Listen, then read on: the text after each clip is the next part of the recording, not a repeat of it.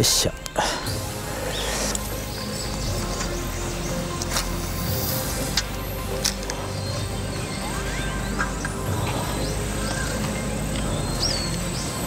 まずはここ。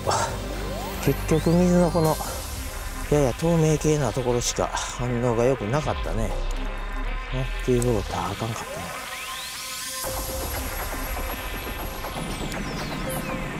狙うべきポイントを絞りアプローチを開始する村上。手にしたのは新山77感覚がさえ渡る彼に早速待望の魚がヒットする。おった。おったね。キャローで一匹。よしよしよしよし。よしいい首の振り方してるよ。でかいよ。おっとっとっとっととまあまあよ。しよしよしよしよしよしし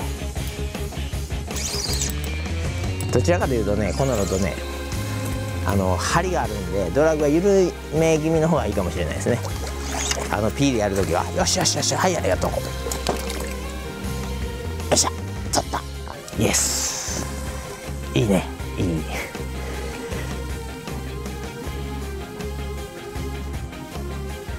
釣れました。ありがとう。今ね結構両家釣れました。でこのロッドねあのー、新山のイメージで白新山で作った。まあ簡単に言うと、えー、白新山と新山の違いは白新山はローテーパー。で新山はハイテーパーやったんですね。でテーパーのあの立ってるのを利用しながらウィードを切ったりするのが得意なのが新山だったんですよ。先代のね。で、えー、白新山はトータルですごくしなやかな、あのー、曲がりが実現できてそれのいいとこ取り。これが新しい新山77です。でプラスアルファあのー、SVF コンパイル X と、えー 3DX それから X45 を、えー、身にまとってですねさらに、まあ、軽く遠投できる。竿が勝手に、えー、運んでくれるような調子になってます、はい、ただ、えー、白新山と違ってね、あのー、結構ロッドに針があるので、えドラグはね若干緩めにしといた方がいいと思います、まあ、慣れたらねどれぐらいのパワーで、えー、引っ張ればいいのかが分かるんですけども最初のうちは魚が急に突進した時に、えー、張りがあるので追従できない。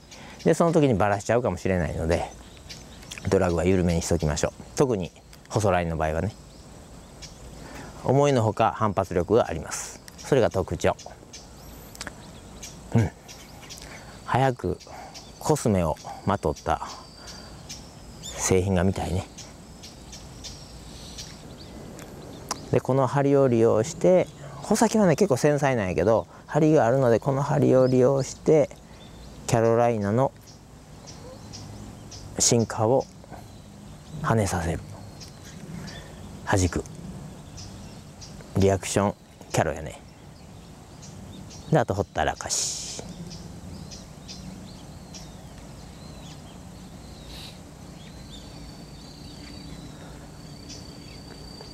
だからこれのウルトラライト版が去年の SMT で遊ぶ遊び方やね。今使ってるのが、えー、3g なんですけどそれを 1.8g ぐらいですのね。ラインもリーダーも全てを補足して。幸先よく1匹目を手にした村上は次の魚を求め足早に茂みの中へ入っていく。ロッドはやはり新山77キャロライナリグレー少し丁寧なアプローチを仕掛ける。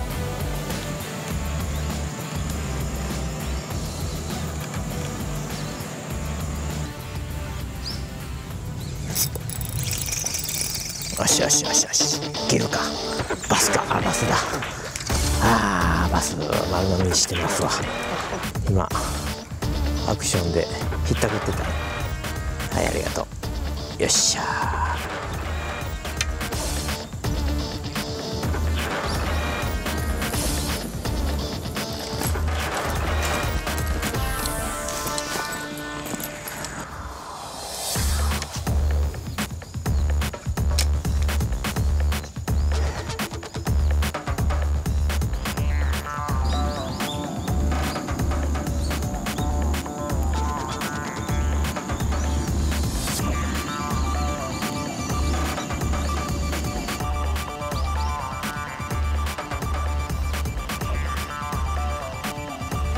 よしよしよしよし。おったね。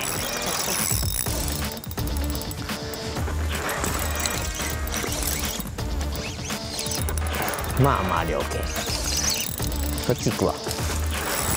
あよしよしよし。抜けるかやめとこう。よしよしよしよしよし。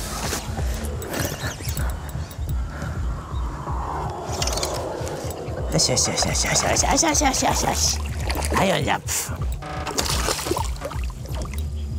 はい取った。イエス。イエス。イエス。よしよしよし。なかなか調子上がってきたじゃないですか。夕方になって。はい40ちょうどぐらいね。うん。はい使ってたのは北系ね。進化そのまま。はい。よし雨降ってきましたね。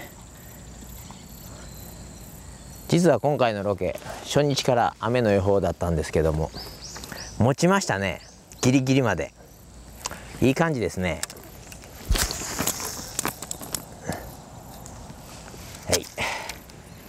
えー、まあ2日間ねあのプロトロッドのハートランドニューモデルをね、えー、使って、えー、野池でシェイクダウンしてみました。で、まあ、ちょうどあの製品版あのコスメの綺麗なやつねが上がってくる頃にもう一度来てみたいなと思います。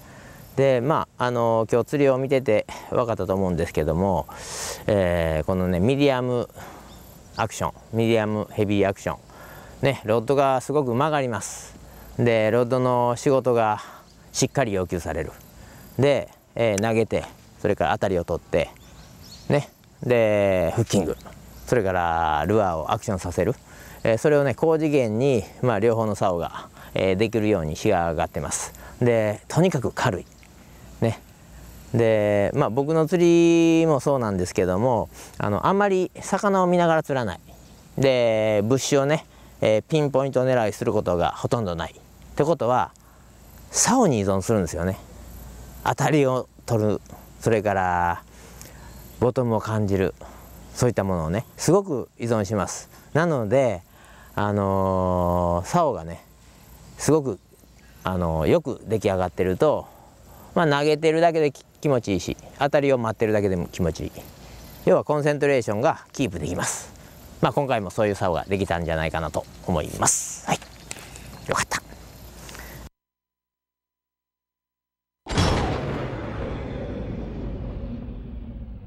さて